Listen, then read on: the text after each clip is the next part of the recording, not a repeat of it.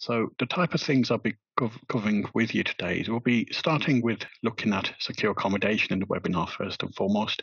So I'll be talking to you about key principles, interim orders, what role the guardian plays in these proceedings, the position with the child's age.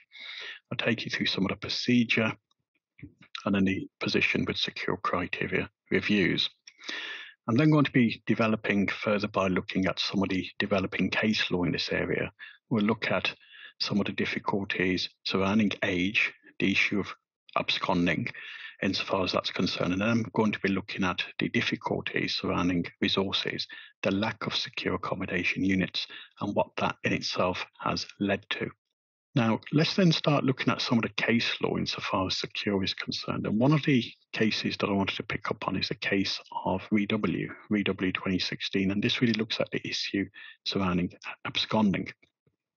And this involved a case involving a 17 year old child who was who was subject to a secure accommodation order pursuant to uh, Section 25, and the child had been placed by the local authority under Section 20. Then there was another case, a case called In the Matter of J, and uh, this was another case whereby the local authority had brought care proceedings. Child was beyond parental control, so the criteria were met. Local authority therefore had lodged not just care, but also a DOL application.